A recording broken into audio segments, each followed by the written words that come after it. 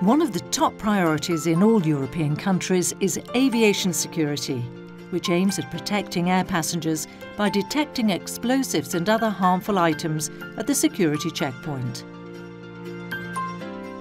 But how are explosives currently detected? Two common methods for detecting explosives at airports are electronic trace detectors and trained detection dogs.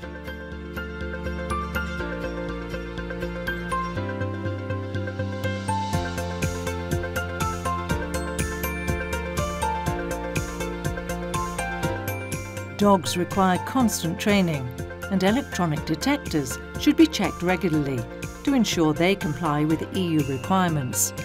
Using real explosives for testing at the airport, however, can be dangerous.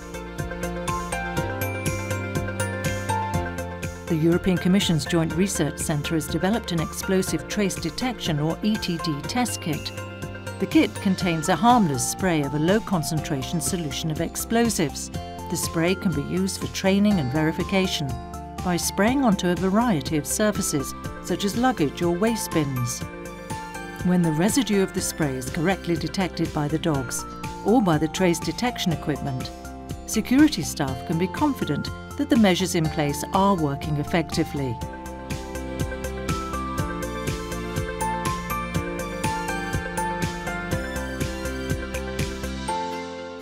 Using the test kit is safe, but producing explosives in the laboratory can be hazardous and polluting.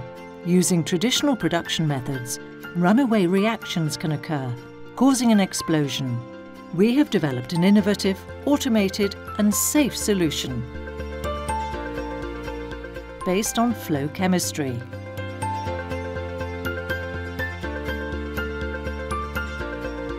In flow chemistry, the reagents which are in liquid state are pumped through the reactor and the product is continuously collected.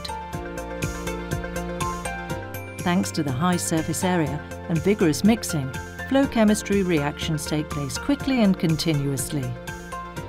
The safety of the process is enhanced by the fast dissipation of heat and pressure control to avoid accidental detonation.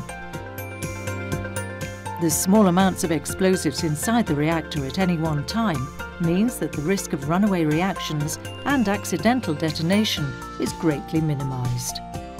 With automated precision equipment, flow chemistry can achieve very high reproducibility of the explosive standards. The flow chemistry system can easily be scaled up or down according to the demand. We produce testing standards that are used in airports all across the EU to check equipment and detection dogs for a safer, greener Europe.